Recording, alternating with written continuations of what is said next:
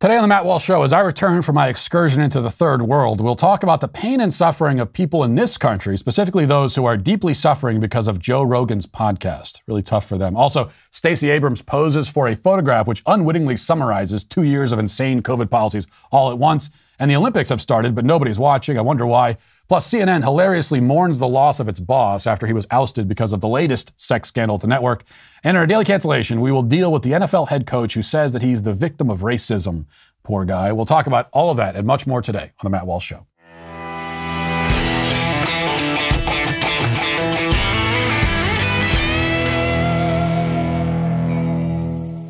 You know, going online without ExpressVPN, well, it's like leaving your kids with the nearest stranger while using a restroom. Most of the time, it's probably fine, but you never truly know who you're trusting. Why would you ever risk it? That's why you need to be using ExpressVPN. Every time you connect to an unencrypted network in cafes, hotels, airports, basically any network that's not your own, your online data is not secured. Any hacker on the same network can gain access to and steal your personal data. What does that include? Well, it includes things like passwords, financial details, you name it. ExpressVPN creates a secure encrypted tunnel between your device and the internet so that hackers can't steal your data. Just fire up the app, click one button, you're instantly protected. It's that simple. ExpressVPN works on all of your devices like laptops, phones, and tablets so you can stay secure on the go. So, secure your online data today at expressvpn.com slash Walsh and get three extra months for free. That's expressvpn.com slash Walsh, expressvpn.com slash Walsh. So I can't say where exactly we went last week or what exactly we were doing. Those details will be revealed in due time. But I can say that this project took us to a third world African country, a very poor place, a very dangerous place. We traversed hundreds of miles, getting a, a good view of both its urban and rural environments.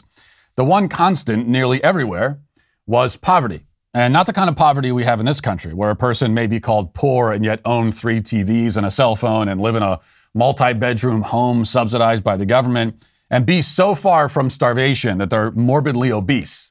That's American poverty. It's very unique. It's not third world poverty. Third world poverty is utter and complete destitution. There are no fat poor people in the third world. There are no fat people, period. You don't see them, they don't exist. And uh, people don't own TVs, they don't have refrigerators, probably don't have electricity. You know, we saw entire families living in shacks, shacks half the size of a standard garage made out of sticks and mud and spare sheet metal. There were a lot of what you might call, uh, I don't know, third world townhomes, which are look to be sort of shipping containers divided into five or six tiny units for five or six large families to live in. There's trash everywhere, there's sewage everywhere, everything is dirty, everything smells. The people are emaciated. The children have flies all over their faces, crawling into their ears and swarming around their eyes. Out in the country, people subsist on their herds of goats and cows, which they guide to new grazing areas by walking directly on the highway with the cows. And if they want to go all the way to the nearest town, then they might have to walk dozens of miles. And the nearest town invariably features a small butcher shop set up in a shack or old shed with ambiguous slabs of meat probably covered in maggots, hanging on hooks and spoiling in the sun. There are street vendors with paltry little stands or random items set out on blankets. And sometimes there would be a, a tiny hut with a pharmacy or hotel or hospital spray painted on the side. Now, very small po- pockets of the very wealthiest parts of the main city did have retail outlets and other landmarks of modern civilization. We had to pass through a um, security checkpoint guarded by men in military fatigues in order to access a shopping center with restaurants that sold the kind of food that you could eat without contracting intestinal parasites, hopefully. Now, most people didn't live in those areas, though, and even if they did, they couldn't afford to buy anything from them. Most lived in the sort of poverty that you can't really understand until you see it, but which most Americans will live and die without ever seeing. Now, the other thing about third world countries is that nobody appears to be in charge. There is no system anywhere, there's no infrastructure. This is most obvious on the roads where stoplights and stop signs can rarely be found. I don't think I saw a single one. And like I said, we drove hundreds of miles. And where they are found, they're simply ignored. Everybody drives in whatever direction they feel like going cars, bikes, people, livestock dashed around you, in front of you, people driving on the wrong side of the road at random. We were warned to keep our windows rolled up whenever the car was traveling slower than a person can walk because people will just run up and reach their hand into your car and take whatever they can grab. That's the other thing about a country like this. Everybody wants to rob you everywhere all the time. And this includes the random government and security officials who you may encounter on the roads and in the cities and in the airports. You're advised to have small bills ready in your pocket to dole out bribes as need be. And a few American dollars can get you out of all sorts of jams. In fact, as we may or may not have learned, I can neither confirm nor deny, you might encounter a situation where you have to dole out a bribe as soon as your plane touches down in the airport. But you may need more than a few dollars if you happen across any of the roving bands of terrorists or criminal gangs who make a living kidnapping people, especially white Westerners, and selling them into slavery or holding them for ransom. That's the kind of thing, that's, a, that's, the, that's the real possibility you have to worry about in a country like this. We had a team of armed security to help dissuade such attempts, but most people in the country don't have that advantage, obviously. That's just one of the many threats that will seem quite unique to the visiting Westerner. There are others, like wild animal attacks. We stayed in tents for the majority of our time there. And uh, two members of our crew had their tent invaded and ripped apart by a large and aggressive male baboon. And this event was unsettling to us, but not a surprise to the locals. It's the kind of thing they have to deal with. You tell them about it, and there's like they say, "Oh yeah, the baboons are jerks." There are even more ubiquitous dangers, though, like the water, which you can't drink, and probably shouldn't even bathe in unless it comes from a bottle. And even then, you can never be too short. Same goes for the food. You could probably eat uh, the meat if it's cooked thoroughly and doesn't smell spoiled, though you can never be exactly sure what sort of animal you're actually consuming. I think I ate horse once, but I'm not sure. Eat anything uncooked, including fruits and vegetables, and you risk spending the next 12 hours with violent diarrhea. And this experience will be additionally unpleasant because depending on where you find yourself when it hits, you probably won't have access to anything resembling a modern bathroom. In summation, third world countries are hell absolute hell. You often hear people claim that parts of LA and San Francisco and Chicago are like third world countries. And as part of this same project, by the way, we've been to all of the, the, the, those cities as well. And actually, it's not far from the truth. But in, in a third world country, the whole place is like the worst part of Los Angeles. The whole country is a homeless encampment. We aren't at that point yet in our country, though the Democrat Party is trying its best to bring us there. For now, in comparison with countries like the one that we visited, that is, in comparison with most of the countries on earth, we are living in unfathomable luxury. Most of the world is a horror show, a nightmare. We're living like kings, most of us. If you can turn on your faucet and drink the water, you're already leagues ahead of most of the people on earth. We are comfortable to an obscene degree. Most of us don't know what suffering looks like. We haven't seen oppression, much less experienced it. We are decadent, and that has made us flimsy and weak and stupid. So it was interesting on the 30 hour trip home to get caught up on uh, the news in America because uh, I was a little bit out of, the, out of the loop for that week, as you might expect, especially the biggest story, which is the effort to punish, cancel, and silence Joe Rogan. And it all began, of course, with claims that Rogan has disseminated misinformation about COVID because the people who run around claiming that men can get pregnant and that the world will end in five years because of climate change and that racist cops are hunting and murdering black people at random in the street, they're all very concerned about misinformation. But then the, the, the highly coordinated and funded campaign moved into its, its next phase, which anyone could have seen, seen coming, which has involved digging up old podcast episodes where Rogan utters the forbidden word, the N word. A word which you might hear shouted 45 times in a pop song without complaint from anyone, but which a guy like Rogan cannot say even when simply quoting someone else. If your skin color is on the darker side of the color spectrum, you can say it in any context you like. If it's on the lighter side, you can't say it in any context at all. Now, this rule obviously makes no sense whatsoever it cannot be justified on any rational or moral basis at all. Yet it's used nonetheless to destroy people like Rogan. Not because he said that word, but because he said a whole bunch of other things that the ruling class doesn't want anyone to say. It's all a pretense. This is why, as people have been pointing out, someone like Howard Stern. I mean, Howard Stern, for 30 years, every day, said things that were far more offensive than any Joe Rogan episode. Howard Stern put on blackface and said the N word at the same time on camera. And he's not canceled. He still has a deal with Sirius. Why is that? Well, because Howard Stern has been neutered in recent years. And, uh, and now he's convenient. He's useful to the left, especially because he's panicking over COVID all the time and pushing the vaccines. This, again, as I always remind people, um, this is not a double standard. It's not, oh, it's a double standard because uh, Howard Stern is not canceled, but, but Rogan is. No, it's one standard. And the standard is this if you are useful to the left, you can stick around, no matter who you are or what you say. If you're not, off with your head. So they want Rogan gone because of his thought crimes. They can't say that exactly, so instead they claim misinformation and they, re- they rifle through thousands of hours of podcasts to find a few examples of him saying naughty words. All the while, the left wing mob puts on this act, pretending to be, to be somehow uh, hurt or victimized because of words uttered by a podcaster who, if they find distasteful, they could simply not listen to. But that's not good enough. The fact that he's allowed to speak at all, the fact that anyone is able to listen to him, causes them deep pain and suffering, they claim. Now, in the country that I just came from, people suffer because they live in mud huts and they drink sewage.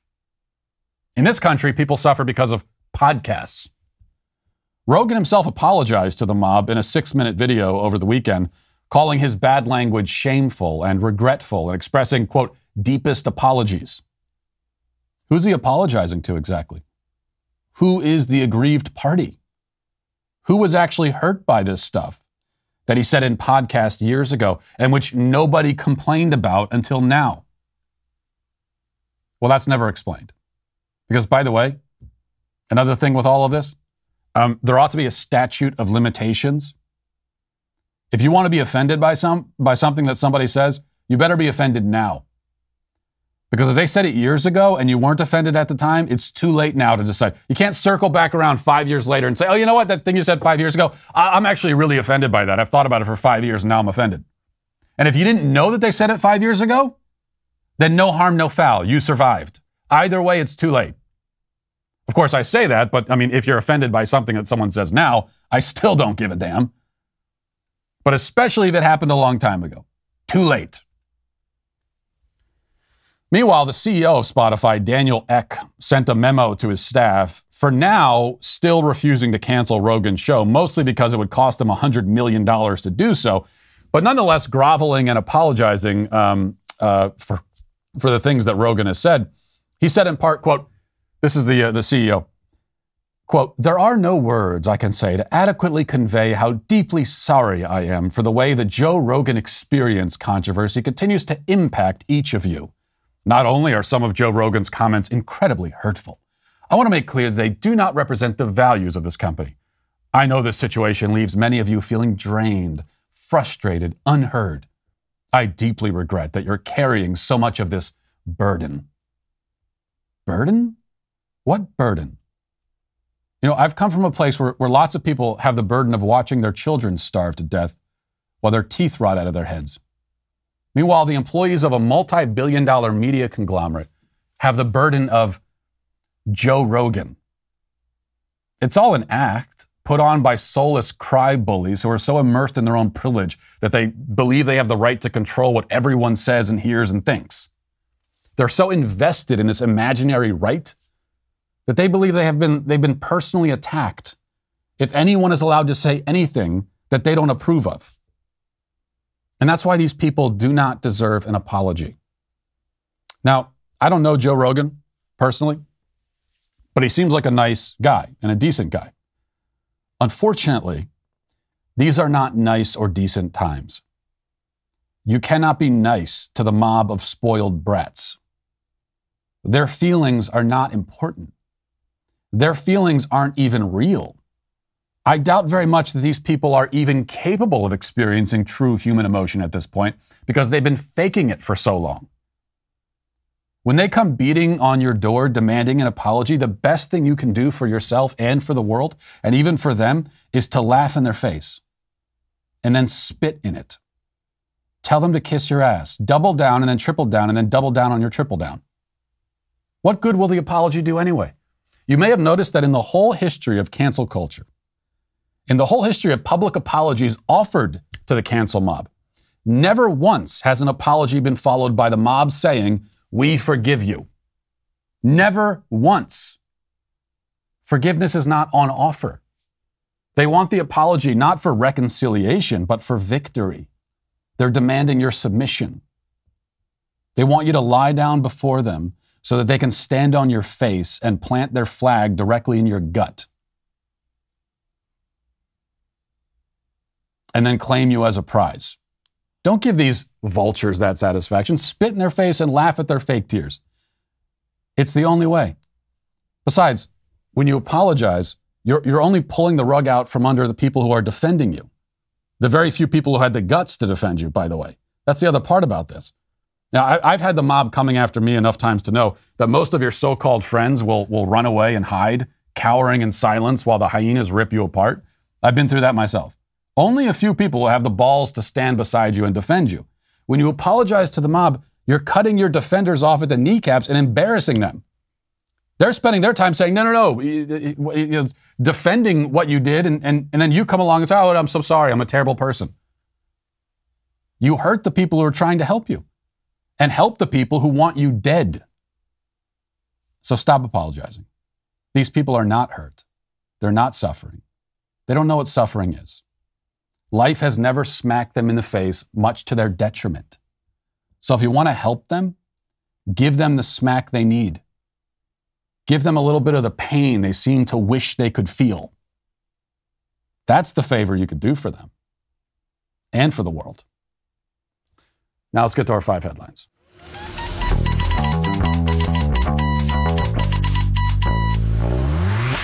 According to the latest research, 90% of employers plan to make enhancing the employee experience a top priority in 2022. After all, a happy workplace is key to attracting and keeping great employees. And if you need to add more employees to your team, there's ZipRecruiter. Uh, their matching technology helps you find the right people for your role for your roles very fast. And right now, you can try ZipRecruiter for free at ZipRecruiter.com/Walsh. ZipRecruiter uses its powerful technology to find and match the right candidates up with your job then it proactively presents these candidates to you. So this is a, not a passive process where you're just putting something out there. They're going to go out and find those candidates and bring them to you. You can easily review these recommended candidates and invite your top choices to apply for your job, which encourages them to apply faster. No wonder ZipRecruiter is the number one rated hiring site in the US based on G2 ratings. ZipRecruiter's technology is so effective that four out of five employers who post on ZipRecruiter get a quality candidate within the first day. So find the right employees for your workplace with ZipRecruiter.com. Uh, Try it for free at this exclusive web address, ZipRecruiter.com slash Walsh. That's ZipRecruiter.com slash Walsh, W A L S H. All right. Um, yeah, the, this N word thing is it's it's it's one of the great absurdities of our time that everyone recognizes is totally absurd. And yet it's a rule that, that makes no sense. And yet everyone is forced to follow because the consequences are so dire if you don't. I mean, I forget which comedian, I think it might have been Bill Burr back when he was still, you know, saying things that were funny and controversial, which these days he doesn't seem to do quite as much. I think it was him who, who made the point a, a, a while ago that even saying, like when you, when you say the N word, you're still conveying the word. You're still communicating the word to someone because you're, you're, you, are you are causing them to think it. It's the same thing with, it's the same sort of silly thing we do as a, the F word or the S word. Well, there's no, there's no real point in dancing around it like that because you're still, if, if, if you're saying it to someone who knows what that word is, then you're causing them to think it. You're communicating it to them, right? And if they don't know what the word is and what it stands for, then there's no point in saying it because they're not going to know what you're talking about. So, assuming your audience knows what the N word is, when you say it, you're causing them to think it, you're conveying it, you're communicating it. So, what exactly is the point? Especially in the context of you're trying to quote someone, let's say, which is with Joe Rogan. That's most of uh, those, those examples that they dug up. He's quoting someone. So it's what's the difference between just saying it or saying the N word? Is there some mystical, uh, supernatural significance to the syllables themselves? So you could say the N word, quote unquote, but if you, if you if you utter the actual syllables, it what? Does it cause people to spontaneously combust? Well, we know that's not the case. Because I said, as, as, as noted at the beginning, the people pretending to be so hurt by this, they'll listen to a song where it's shouted 50 times in three minutes. Listen to a song where it's shouted 50 times in three. I mean, you have people who, who, who listen to the word and say it hundreds of times a day, listening to a song and it was, it's shouted 50 times and, well, it's a great song. And then they hear a clip of a podcaster quoting the word nine years ago and they say, Oh my God, that word, that word, I can't stand it. Oh, please. Oh, please. Does anyone take it seriously? Does anyone believe it? No. But Joe Rogan apologized to them. He apologized. That's why you don't apologize. All right. Um, I got to move on from this. I could keep ranting about it. Uh, I, I, there's a lot of things. A lot of things were, were building up. Um, uh, a lot of a lot of rants kind of bottled up over the last week, and so now I've got to spill them all. Let's start with this. Uh, Stacey Abrams, who's the weird woman who uh, thinks she's governor of, of, Georgia, she showed up at an elementary school last week and um, took this picture here. We got the picture there, so there she is, um, sitting with a bunch of masked children, not wearing a mask herself. Uh, they're all all their faces are covered, but Stacey Abrams, she has to make sure that her face is not covered because we got to see her face, right? There's only one person in that photograph who's at a high risk of COVID, and it's the obese woman sitting in the front without a mask on. But no, we got to see her face. But by the way, it's always it, it, this is not the main point, but I, I do have to, to, point out that uh, uh, these politicians who who are hypocrites and refuse to wear the mask while making everyone else wear them, it's always the ugliest ones, too. And it's always the ones who, who, you're like, well, you know, you, you should probably just wear a mask in general. But she doesn't want to wear a mask, and all the kids are wearing it. And by the way, she was there to uh, read a children's book. I think this is also worth noting. She was there to read a children's book that she wrote about herself, where she's the hero. And the, the book is called Stacey's Extraordinary Words. I'm not making that up. So she was there to read a children's book about herself as a hero. Even though this woman has never done anything significant in her entire life, nobody can. At some point, someone named Stacey Abrams came along, and the media told us, "Oh, this woman, she's so incredible, and so she should be president." She, and we're all asking, "What? Who is she? What is? What has she done? Why should anyone care about her? What? What has she achieved in her life? Nothing. They just pulled her out of the blue." And she wrote this book about herself. You know, I, tell you right now, I, I, have written my own children's book, which is called Johnny the Walrus, which you can get at johnnythewalrus.com. And uh, I will quite happily go and read that to groups of children, and they don't have to wear masks. So I'll make that deal. Then the uh, campaign, the Abrams campaign, they issued a statement responding to the controversy surrounding this photo. And by the way, this photo was not, uh, it wasn't something that they, somebody dug up and put out there. It wasn't like her, her, her enemies put it out there to try to embarrass her. This is not like a Joe Rogan thing where there's a, a coordinated, funded campaign to go find stuff on this guy. No, they took the picture proudly. She posed for it. They took it and sh- her campaign posted it online because they're in such a bubble that they, they didn't even know that people would react to it the way that they did. They didn't see. I mean, before uh, a picture like that makes it online, it has to it has to pat, it has to be approved by several people, including probably Stacey Abrams herself, and no one along that chain of approval said, "Hey, wait a second. Um, you know, uh, maybe this won't look great for her not to be wearing a mask while all the kids do have to wear it." No one said, "Hey, wait a second. Um, the the person in this in this uh, photo who most needs the mask isn't wearing them, isn't wearing one, while all the people who don't need them are. Maybe we shouldn't post it." No one said that. So they posted it, and then and then they took it down after a few hours when people reacted to it the way that um, any rational person would expect them to. And then the Abrams campaign released this statement. They said, It is shameful that our opponents are using a Black History Month reading event for Georgia children as the impetus for a false political attack. What's false about it? Was it is it photoshopped? Were you wearing the mask and someone photoshopped it off of your face? What do you mean false political attack? It's not even a political attack, it's a photo that you posted. She continues, and it is pitiful and predictable that our opponents continue to look for opportunities to distract from their failed records when it comes to protecting public health during the pandemic.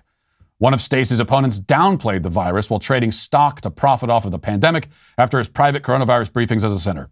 Another of her opponents attacked mayors seeking to protect their citizens and has failed to expand access to Medicaid even as rural hospitals close. This pathetic, transparent, and silly attack is beneath anyone who claims he wants to lead Georgia. So you see, there's no apology there. Um, it's, it's racist. How dare you, during Black History Month of all things, to criticize a black woman during Black History Month? Well, this is this is unheard of. Um, Joe Rogan and everybody else targeted by the cancel mob, you could take a lesson actually from Stacey Abrams and really any Democrat. They don't apologize. They do not apologize. They go right back on the attack. They say, no, no, no. I don't owe you an apology. You owe me an apology, and here's why. You could take a lesson from that. But really, that photo is, uh, I think it will live in infamy. And it, it because it, it summarizes two years of insane, horrible, uh, evil, twisted, perverse COVID policies. All of, all of that could really be summarized with that picture. Picture says a thousand words. And um, a picture of the important one sitting in a room with faceless children because their faces don't matter. And the psychological effect of having to cover their faces for years on end also doesn't matter, we're told. Now, I've seen a lot of people, by the way, sharing that photo, um, parents and, and, everything, and especially parents who, who, who have their kids in schools where they still have to mask. And uh, they're sharing the photo and saying, unmask our children, unmask our children. I got to be honest with you, I'm really tired of hearing that, especially f- from parents who have their kids in these schools. Unmask our children. No, stop, stop, stop begging them to do it. How about you march into that school and force the issue? I mean, how have, two years into this, if you're a parent, how have you not gone into the school and said, I am not leaving this building until you take that thing off my child? In fact, I'm going to take the things, uh, thing off my child's face, and you're not putting it back on. You touch my child, and I'm going to touch you, and you're not going to like it. How, how have the parents not done that? Two years into it, you're still, you're still uh, sitting back waiting. Please take the masks off our kids. Please, will you please? Well, they're not going to, and I'll show you why. Here's, a, um, here's the superintendent of Wake County Schools explaining why it's so important to mask, uh, especially young children. And listen to his reasoning. Here it is full mask compliance later down their their growth as, as, students, right? So when they're at, it's like if you're a two year old, you're trying to help them practice for age three, and then four when they're going into pre K classrooms, and then from there, you're trying to help them get into normalized situation, wearing masks potentially in a kindergarten classroom, and so forth, right? So that's what we're trying to do, and it's it is with a developmental lens and not a you must do this or else lens. Uh, so we gotta we gotta mask them at the age of two so that we can teach them and condition them. He's being quite explicit about it. We gotta condition them for the future because they got a mask now when they're two so that they wear the mask when they're three and four and five. What does that tell you? It means that he plans on those kids wearing masks forever. He's planning years into the future.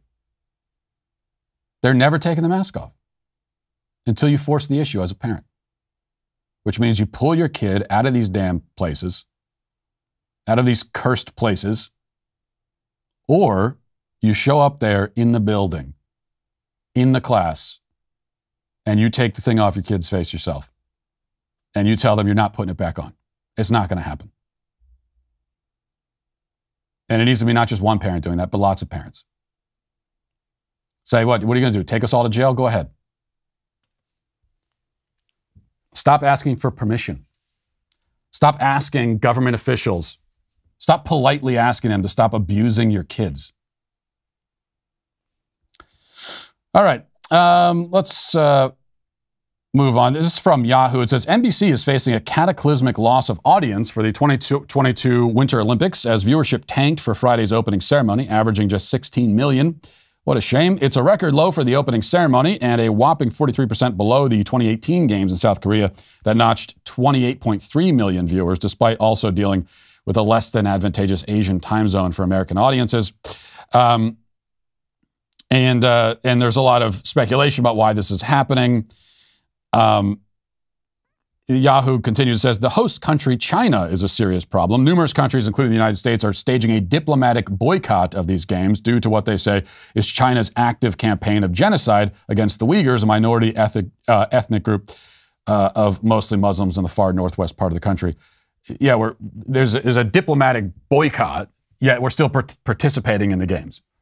And so most people are assuming that because of China's genocide and their human rights violations, that's why people aren't interested in the games. And that's the thing people are focusing on. Is like, why, why are we participating in the games? Why are we allowing this to happen? Why are all the countries in the world coming together to participate in games under the communist Chinese regime, which is guilty of genocide and all the rest of it? Um, I, I personally think that that kind of misses at least half of the point, but we'll get to that in a second. ESPN has been discussing this issue, and uh, that discussion has gone maybe as you would as you would expect. Here, here here's a, around the horn, the show around the horn, and uh, the host is talking about this and like, how do you how do you justify this? I mean, how do you justify having the Olympics in China and participating in it and covering it, given the human rights violations? And here's how one of these sports analysts responds to that. With genocide and human rights violations in the Tibet region and against Uyghurs in China. The International Olympic Committee chose Beijing while stating it is committed to human rights. Today's opening ceremony, which again you will see tonight, featured a lighting of the torch by two members of the Chinese Olympic team, one of which is Uyghur. J.A. Adande, as a fan and then as a reporter, how do you reconcile enjoying this competition while also considering everything I just said? I think it's standard in sports right now. You have to have a cognitive dissonance. You need to compartmentalize. We've never had a more enjoyable NFL playoffs in this country, and ne- we've never had more people watching the playoffs. And yet, it goes on amid the ongoing allegations against Dan Snyder owning the Washington football team, and the, you know the continuous concussion concerns, and now the concerns about diversity and the allegations and the questions about competitive integrity, even all of that. And yet, we're still enjoying the games. And who are we to criticize China's human rights records when we have ongoing uh, attacks by the agents of the state against unarmed citizens, and we've got assaults on the voting rights of, of our people of color in various states in this country. So, sports, I think it is possible, and it's necessary more than ever to just shut everything out if you are to enjoy the actual games themselves. So pathetic. These people are are so totally pathetic. Uh, there's there's no um, there's no group perhaps more more pitiful as we've seen in recent years than the sports analysts. And that becomes very clear whenever they get into discussing social, cultural issues, bigger issues than sports themselves. Which is why I, like most people, prefer them just to, to stick with the sports, obviously. But they don't want to stick with the sports because they want to feel like their job is more important than that, so they chime in on these issues. And this is what we get that genocide is comparable to um, legislation, uh, to, to, to, to uh, you know, voter ID legislation. Requiring someone, this is what he just said, telling someone that they have to produce a license in order to vote is equal to genocide. That's what we just heard from a guy on ESPN. And in spite of the fact, I mean, that would already be an absurd comparison on its own. But then, in spite of the fact that that same guy, I guarantee you, supports vaccine mandates, um, which require you to produce a vaccine card and a license to do anything in society if you live in one of these cities where these uh, policies are in place. So, uh, and that's perfectly fine. You want to eat, you want to do anything, you got to produce a, a license and a vaccine card. But if you, have to, if you have to produce just one of those pieces of documentation to vote. Now it's genocide. And this is all leaving aside the fact that, um, for me, the, even the, the, the greater point, as significant as the human rights abuses are, the greater point as far as the Olympics go, and the fact that the whole world is participating, is that China, by, by all accounts now, um, engineered a virus which was then unleashed on the world somehow and proceeded to kill 5 million people all across the globe. We've all been living with that for two years. So China unleashes between the, uh, the last Olympic Games and this one, they engineer a deadly virus, unleash it on the globe, and kill 5 million people.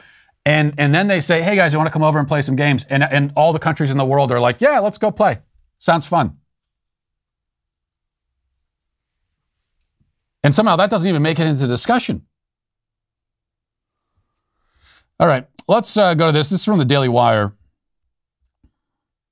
I'm trying to find some news story that's not going to cause me to go off on a 15 minute rant, but I really can't find one. And this one's not going to be any better. This is from the Daily Wire. It says on Thursday, 16 members of the Penn's, uh, Penn State uh, or University of Pennsylvania women's swimming team sent a letter to the University of Pennsylvania and the Ivy League asking them to refrain from suing the NCAA over its new athletic inclusion policies that would bar Lia Thomas, formerly known as Will Thomas, from participating in the NCAA championships in March. Um, they stated, we have been told that if we spoke out against her inclusion into women's competitions, that we would be removed from the team or that we would never get a job offer. Um, in the letter, the swimmers note biologically, Lia holds an unfair advantage over competition in the women's category, as evidenced by her rankings that have bounced from number 462 as a male to number one as a female. I didn't even know it was that. It was quite that dramatic. Number 462 rank as a male number one as a female. My God. Not a surprise, but still, when you see it on paper, it really sends the point home, doesn't it? Um, and continuing, if she were to be eligible to compete against us, we uh, she could now break Penn, Ivy, and NCAA women's swimming records, feats she could never have done as a male.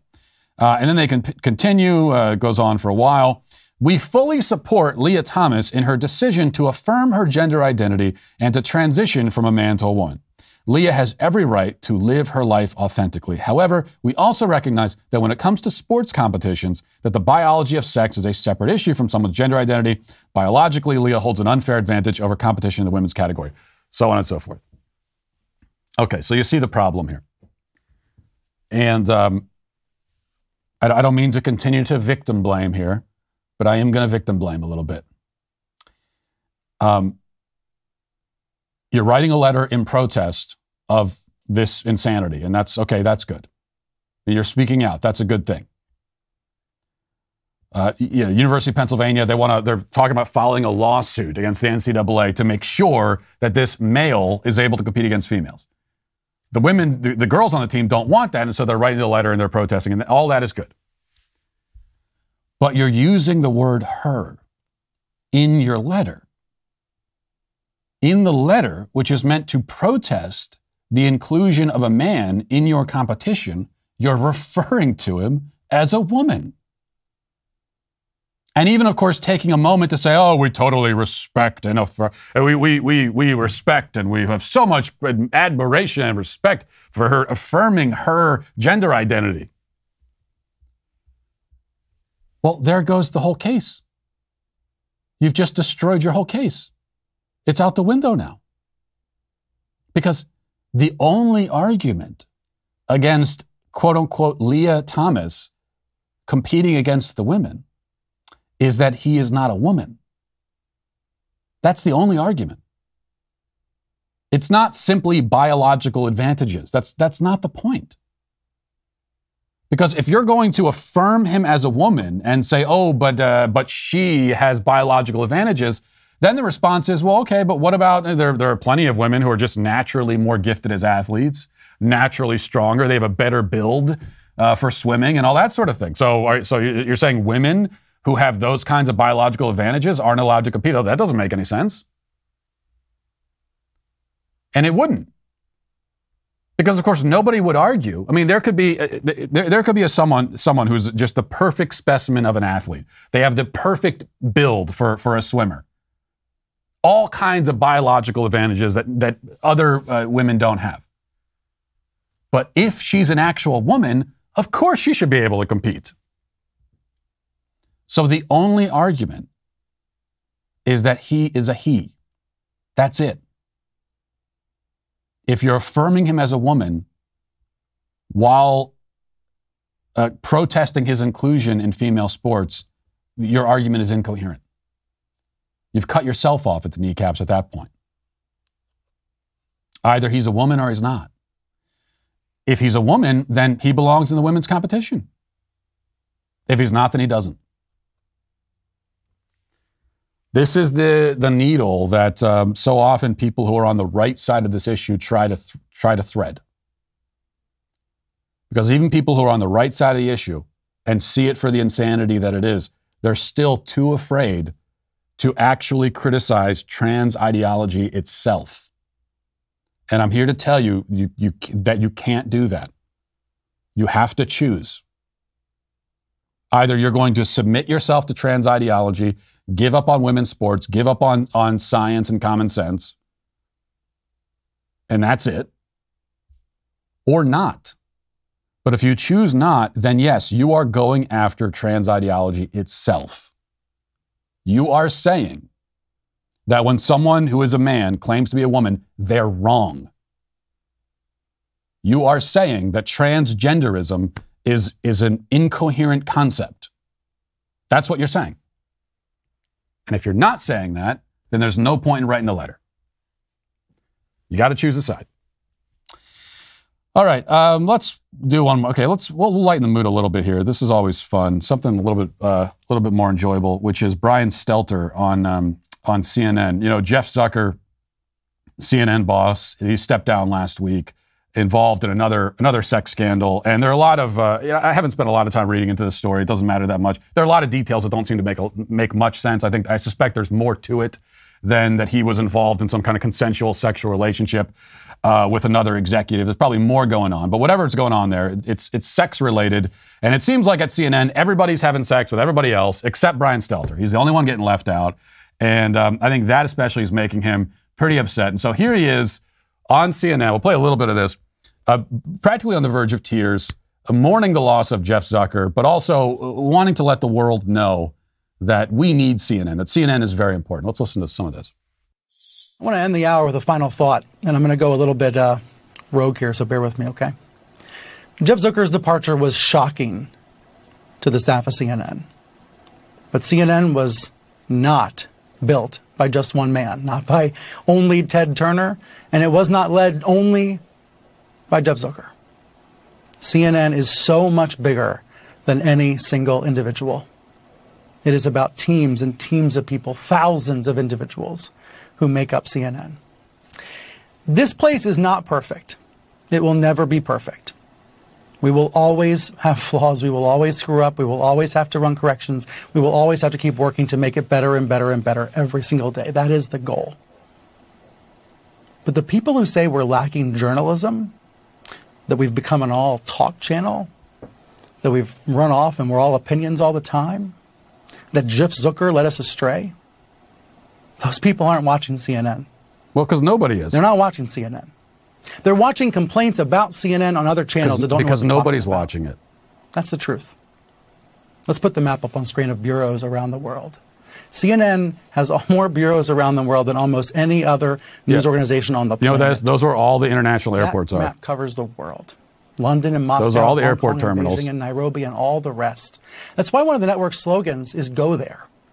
On the day Jeff Zucker resigned, CNN aired more than 135. Go there. that's a, that's not a very good slogan. Look, okay, all right, shut up. Uh, go, go there. I mean, yeah, some of the people at CNN they really go there. Uh, you know, Jeffrey Toobin masturbating during work meetings. They're, they're really going there in a lot of ways. Uh, I just, I, I love that. These people, they don't, they have people criticizing CNN. They don't watch it. Yeah, no, no one's watching it. I understand that they have bureaus and they're all, yeah, it's, it's on in the airport. And that's where people watch it. No one else is watching it. He goes on for a while there because he really sees this. He's like, he, he thinks that this is important to people. He thinks that he thinks that average Americans sitting at home. First of all, he, he believes that they're watching his show, which none of them are. But then he also believes that they're concerned that Jeff Zucker is no longer the CEO of, uh, of CNN. But CNN, they're going to they're gonna keep at it. And they're going to keep having sex with each other with reckless abandon, except for Brian Stelter. And that really is the greatest tragedy. Let's get now to the uh, comment section.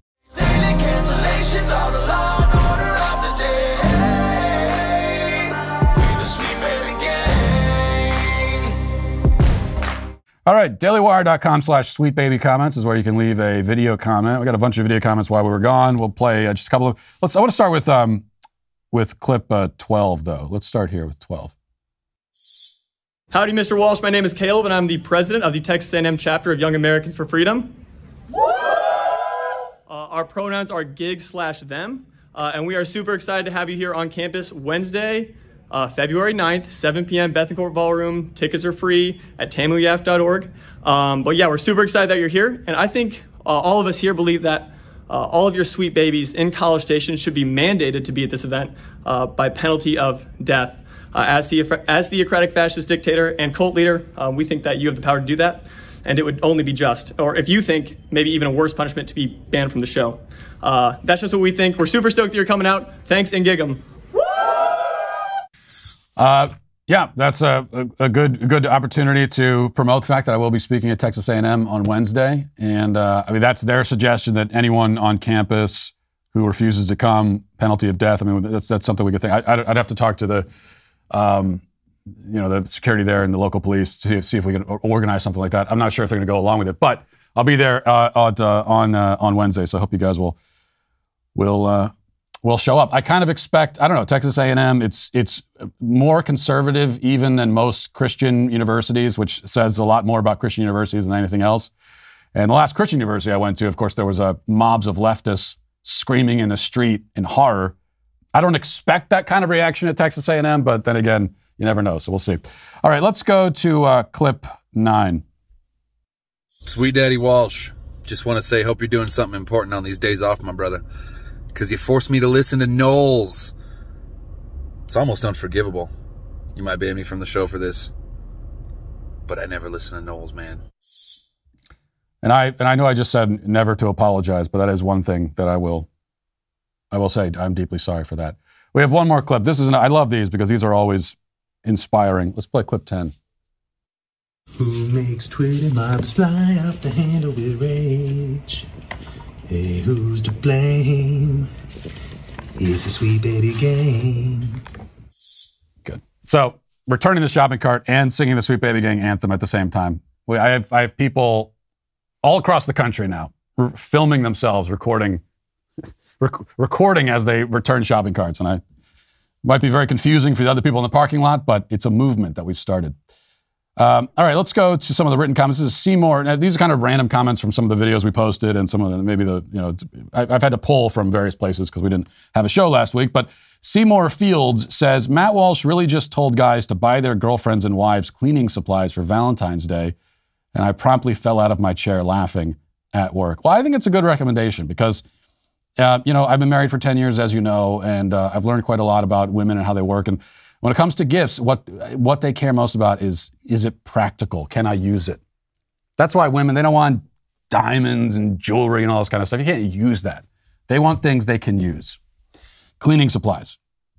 From Naturally It's Clean. Jay Bling says Matt is one of the very few popular YouTuber commentators who doesn't fall into the preferred pronoun fantasy. I respect him immensely for that. Well, I appreciate that, but um, it's kind of sad that that's something you have to respect me for is because I'm just going to call a man a man and a woman a woman. Um, sh- that's not something that should require any kind of courage or anything like that. Um, ML34 says, Matt, I saw your tweets about 1883. I think you're being unfair. It's a pretty good show. Yeah, I did kind of. I, I, went off on, on, on that last night. This is, this is, one of the struggles I have in my marriage with with my wife is that I'm always trying to enlighten her with important commentary before, during, and after the shows and movies that we watch together, and uh, she has no appreciation for that whatsoever. And that's why I end up putting most of this stuff on Twitter because I, I try to give these lectures to my wife um, while we're watching these shows, and she's she's just not a receptive audience at all. So we're watching the show 1883 yesterday on Paramount Plus, and um, it's a, it's a western about a group of settlers who are traveling across the country from Texas to Oregon, and it's set in the year 1883, as you might expect. And I think I mentioned on the show before because I recommended it because it started as a kind of gritty, classic, old-fashioned western, and uh, I, I liked it. And I'm and I'm thinking it's, it's been so long since it's pretty rare that we get a good western from Hollywood, especially a, a, a, television show. I mean, the last good one was I don't know, Lonesome Dove. I'm highly, highly critical of modern westerns because they're so often botched, and to such an absurd degree that it's offensive. It offends me. But this show starts well. It stars Sam Elliott, um, which is great casting, and uh, and it's a good show. And then about three or four episodes in, it turns into this soap opera where the main character and the main focus is this teenage girl and her love life. And of course, at the same time, she's a she's this tough, tough as nails cowgirl, and all the women in the show, of course, are tough gunslingers, all of them. And the whole show starts to focus around these women. I mean, you've got Sam Elliott in a western where they're going across the the old the old west, and okay, I know what we're gonna do. We're gonna focus it on the teenage girl and her love life. And then the latest episode was the last straw for me because the caravan, they make its way, uh, it, makes its way into Comanche country. And this is when the show should really turn on, right? Because keep in mind that the Comanches were ruthless warriors. They were the most dangerous and violent Indian tribe in the country. Um, and uh, this is where we should be getting in the show a whole bunch of, of awesome, intense battles between cowboys and Indians, and it should be great. But instead, the group meets up with some Comanches and they're all friendly and kind and wise, and they speak perfect English, and they end up being like the, the, the superhero guardians for the group. And they're kind of following the group from a distance. And every time the group gets into a bind, they swoop in to save them. Yeah, because that's what the Comanches would have done in 1883 in the Old West. That's, yeah, sure. That's the anytime they saw a group of white settlers, what they all said to themselves, "Hey, let's make sure let's make sure we can usher them. Let's risk our lives to make sure that they can uh, make it across the Great Plains unscathed." And then the ultimate jump the shark moment was when there was a there was a tornado coming, and so once again the Comanches swoop in to save the uh, the hapless white people, and uh, and and and while the tornado is going over top these people the Comanche and the teenage girl start making out while there's a tornado, and her hat doesn't even fly off. And then when all is said and done, and the caravan's destroyed, and wagons are destroyed, and all their supplies are gone, and everything, and they're probably going to die. And the, the, the, father goes up to the teenage girl and says, "Oh, you know, did you, how did you do? Are you okay?" And she says, "It was beautiful, Daddy. It was beautiful. The tornado was beautiful. Just we're all going to die now, but it was beautiful because you made out with the Indian during it. My God. Anyway, I, I was trying to explain all this while we were watching the show last night with my wife, and uh, she did not want to hear it any more than probably anyone right now wants to hear it either. Well, as you all know, I am a theocratic fascist and a beloved LGBTQ children's book author. And as a man who bears this uh, extremely valid and important title, I'm always looking for new ways to expand my influence across a nation that's deep in need of spiritual guidance and also to, uh, to profit as well. It's another thing I'm worried about. So I ask you, the loyal followers of my regime, to, uh, to show your dedication by wearing it on your sleeve, literally. So from this point forward, I will be releasing a very limited edition patch once a month for you to wear because it's an utmost importance that uh, values such as saving abuelas, returning grocery carts, spreading anti-panda sentiment. It's, it's very important to share this with the public. So these are patches that you can wear. I think you put them on your, uh, like a shirt sleeve. You could iron them directly onto your skin I, I can't officially recommend that, but I will say that that's the, the, the most dedicated person. That's what they would do. The future of this nation depends on you. Inspire your friends and family to return their grocery carts and question the existence of pandas at the same time. My followers will also receive a digital version of the patch for their online Daily Wire profile. Remember, stock up on these patches. Uh, the stock will be very limited, so make sure you, you go pick up the first release of patches right now because we all know this world needs it. Go to dailywire.com slash shop and uh, get your first patch today. Also, a great Valentine's Day card um, or Valentine's Day gift as well. You can get a Valentine's for for your for your wife. Get them a, a Matt Walsh Show patch. They're going to love that. Um, uh, also, speaking of Valentine's Day, we also have, uh, and there's no copy for this at all, really. This riff riff on how great they are. So our, our copy editor was taking the, the, the uh, week off. So uh, what I'm being told is to riff on how great they are, and it's it's easy to riff on these Valentine's Day Daily Wire Valentine's Day cards, um, which are, I tell you what, they are great. The thing about these cards that jumps out at me when I look at them is I think they're great. These are just great cards. So you can get 12 of them for $9.99 by going where? I don't know, because it doesn't say. DailyWire.com, I assume. You'll find it there. Finally, this Thursday, February 10th, will be the world premiere of Shut In, Daily Wire's first original film at 9 p.m. Eastern, 8 p.m. Central over Daily, Wire, uh, Daily Wire's YouTube. That means that everyone can watch at least the premiere. You can watch it for free. The suspenseful thriller follows a young mother trapped by her violent ex and his meth addicted friend, and she must escape to save her children before it's too late. It's a tale of redemption to the beat of a seat gripping thriller. The film premieres this February, uh, this Thursday, February 10th at 9 p.m. Eastern, 8 p.m. Central over at the uh, Daily Wire YouTube channel. Make sure you click the link in the description and turn on the notification bell so you don't miss it because after the premiere, it will be available only to the Daily Wire members. We entered the entertainment space in order to send Hollywood a message that you no longer have a monopoly on the film industry, and the release of this film is just the next step in proving it. So make sure you tune in for that. Join me, Ben Shapiro, Jeremy Boring, Michael Knowles, and Andrew Klavan, Thursday night at 7:30 Eastern, 6 p.m. Uh, 6:30 p.m. Central on Daily Wire's YouTube channel. The premiere of Shut In starts at 9 p.m. Eastern on the same channel, so make sure to tune in before then. Now let's get to our daily cancellation. Now, the other story that was at the top of the headlines while I was journeying across the uh, third world was that of the NFL head coach who claims that he's being oppressed and persecuted by the league, which has made him a millionaire. As you may have heard, Brian Flores, a black man, was fired by the Miami Dolphins after the team underperformed and missed the playoffs. Now, the NFL is notorious for firing head coaches at the drop of a hat. If you have one bad season, you're going to be out on your butt. You may even be fired after a good season. The most infamous such example is Marty Schottenheimer back, I think it was 2006, 2007.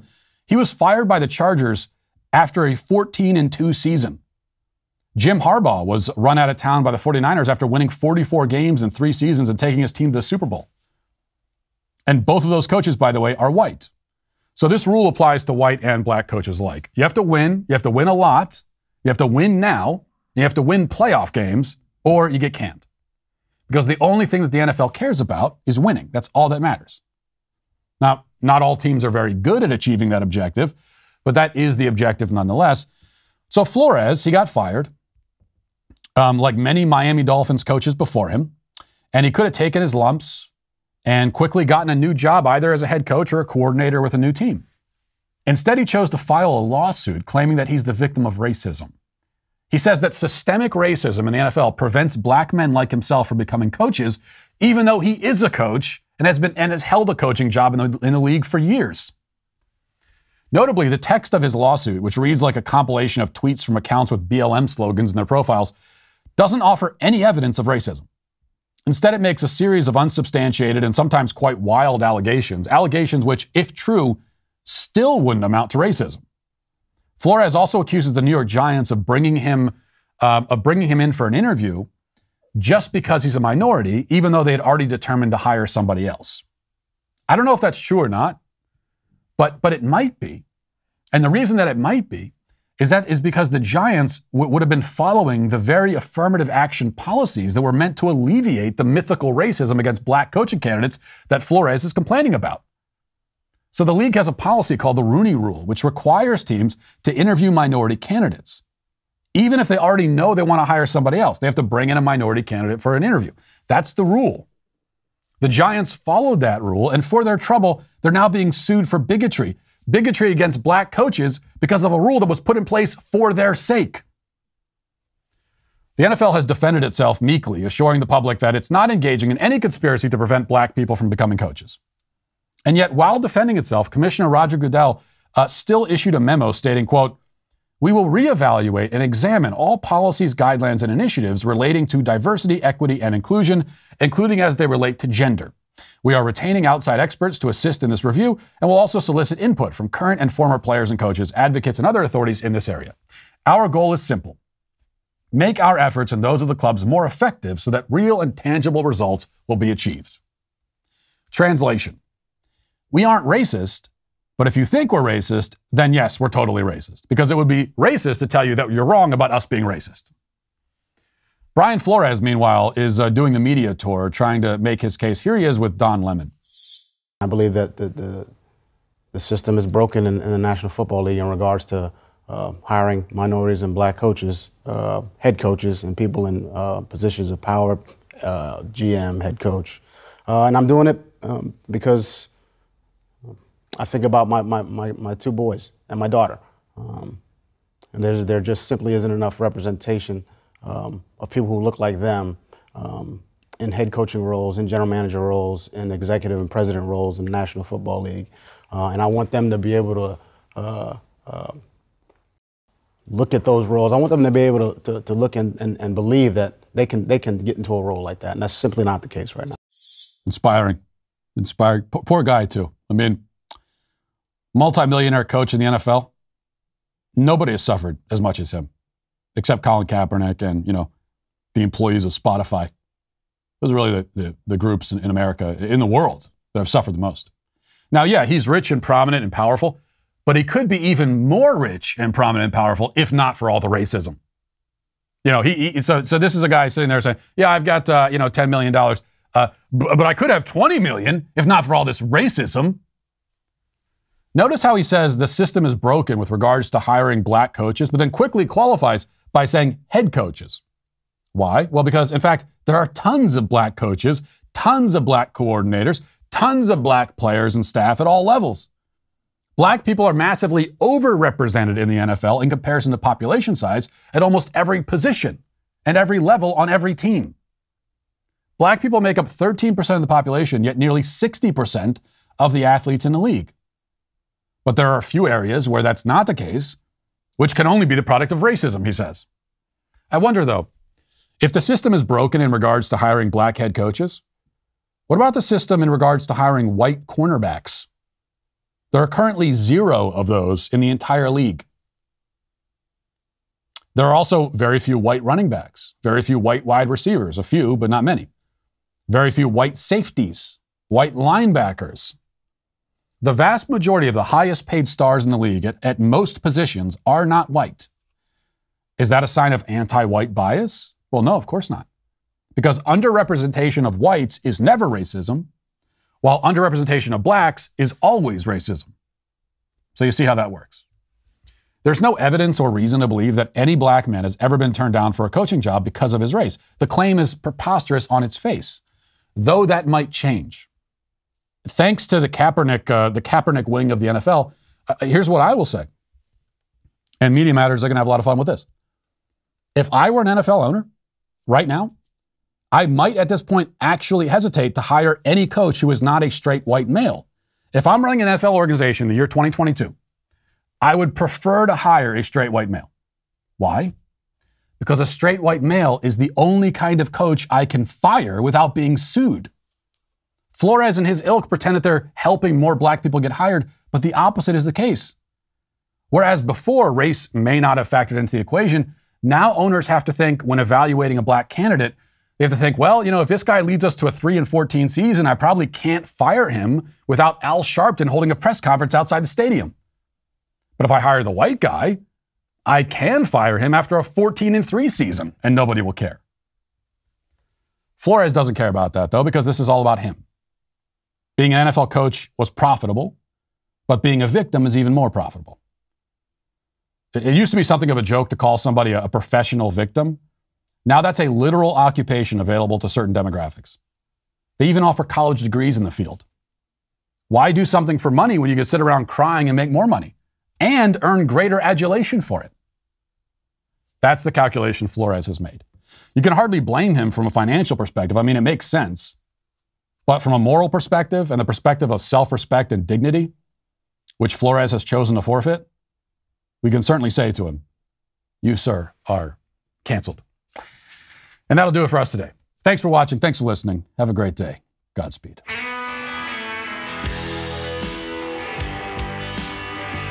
The Matt Walsh Show is produced by Sean Hampton, executive producer Jeremy Boring. Our supervising producer is Mathis Glover. Our technical director is Austin Stevens. Production manager Pavel Vodowski. The show is edited by Robbie Dantzler. Our audio is mixed by Mike Coromina. Hair and makeup is done by Cherokee Hart. And our production coordinator is McKenna Waters.